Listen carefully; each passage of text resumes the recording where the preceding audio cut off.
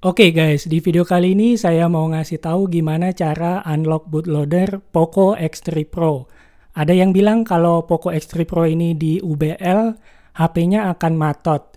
Nah, di video ini kita akan cari tahu apakah itu benar apa enggak. Oh ya, sebelum kita mulai, buat kalian yang mau ngikuti tutorial ini, jangan lupa pindahkan data-data yang ada di HP ke tempat lain. Soalnya unlock bootloader ini akan menghapus data-data di HP. Jadi kalau ada data-data yang penting silahkan pindahkan ke tempat yang lain. Oke, langkah pertama pastikan sudah login akun Mi di HP. Kemudian kita buka opsi pengembang atau developer option. Caranya kita ke setelan, kemudian setelan tambahan atau additional setting, kemudian opsi pengembang atau developer option. Kemudian kita cari ini status Mi Unlock. Di bagian status Mi Unlock ini kita buka, kemudian kita setuju atau agree.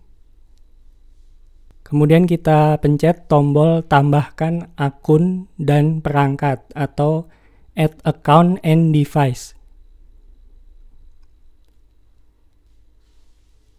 Nah, ini udah berhasil ditambahkan ya. Pastikan ada tulisan berhasil ditambahkan atau edit successfully. Kalau misalnya gagal, coba logout akun Mi, kemudian login lagi, kemudian coba lagi seperti tadi tambah akun dan perangkat. Oke, langkah selanjutnya kita ke PC atau ke laptop. Oke, kita udah di PC. Langkah selanjutnya kita download bahan-bahan yang dibutuhkan. Ada dua file yang kita butuhkan yaitu Mi Flash Unlock Kemudian yang kedua adalah PDA-Net. Link downloadnya bisa kalian temukan di deskripsi video ini. Nah, kalau dua file ini udah di-download, langkah selanjutnya kita install dulu PDA-Net ya. Ini fungsinya sebagai driver ADB fastboot ya. Supaya HP-nya dikenali di PC atau di laptop. Jadi ini cara installnya sangat mudah, kita tinggal next next aja. Kita accept ini next, kemudian next lagi, kemudian next lagi. Ini kita oke. OK. Kemudian pilih skip USB. Kemudian finish. Kemudian langkah selanjutnya kita ekstrak Mi Unlock-nya. Jadi ini kita ekstrak atau unzip. Nah, kalau udah diekstrak nanti akan muncul folder seperti ini ya. Ini kita bisa klik, dalamnya ada seperti ini. Nah, ini kita jalankan mi flash underscore un unlock. Jadi kita jalankan mi flash underscore unlock. Kemudian pilih agree.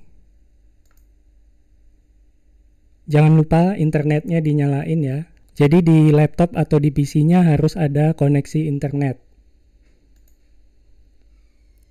Ini kita refresh.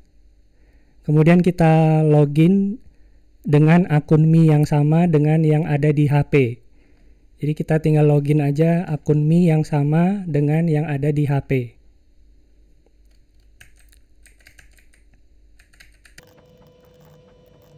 Selanjutnya kita akan diminta untuk verifikasi nomor HP. Jadi nanti kita akan dikirimi kode verifikasi, kemudian kita tinggal masukin aja supaya memverifikasi nomor HP-nya.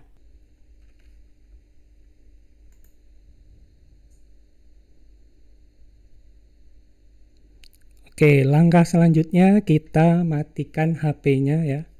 Jadi ini HP-nya kita matikan, kita matikan HP-nya, kemudian kita masuk ke mode fastboot ini kita tinggal masuk ke mode fastboot dengan pencet tombol volume bawah volume minus dan tombol power.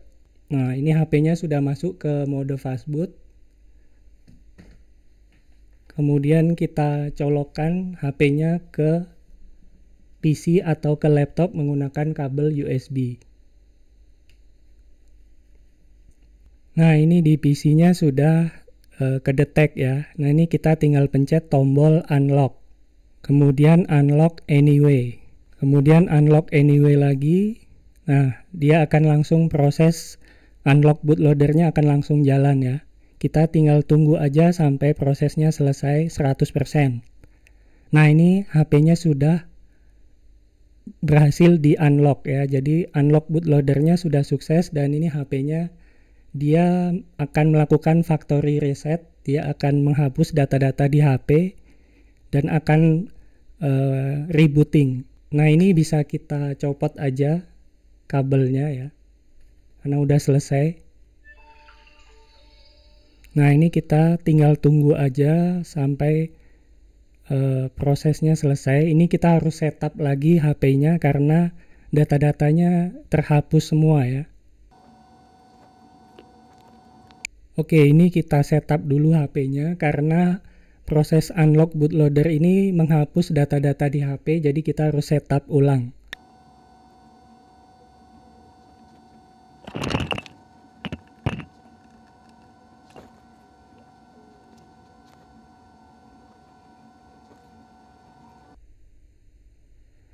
Oke, ini HP-nya sudah berhasil di UBL dan bisa dilihat HP-nya masih baik-baik aja ya. Jadi pendapat yang bilang kalau UBL itu bisa bikin HP matot itu salah ya, nggak benar.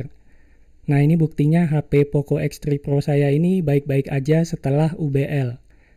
Nah ini bisa dilihat status Mi Unlock-nya sudah berubah, dia jadi unlock Oke itu dia tadi cara unlock bootloader Poco X3 Pro. Kalau masih ada yang nggak jelas silahkan komen aja di bawah. Video selanjutnya kita akan install TWRP dan root Poco X3 Pro ini.